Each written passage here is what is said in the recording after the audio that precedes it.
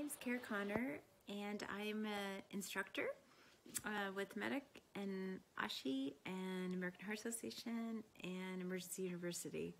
I have been teaching for over 30 years. I think that's long enough to tell you.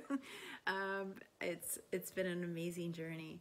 I think I first became an instructor just because I was really interested in emergency medicine. I was an EMT and I wanted to learn how to help, you know, save lives.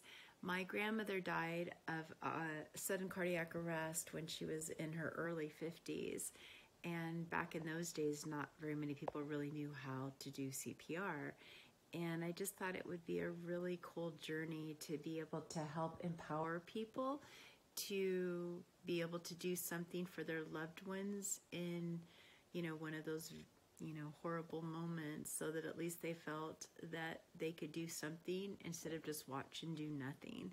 And also the importance of really recognizing the early warning signs of both heart and stroke and, and other types of diseases when they should call 911. So hopefully they won't end up having to do CPR on their, you know, family members because it gets worse. Um, so it's just been an amazing um, time. I really enjoy teaching students.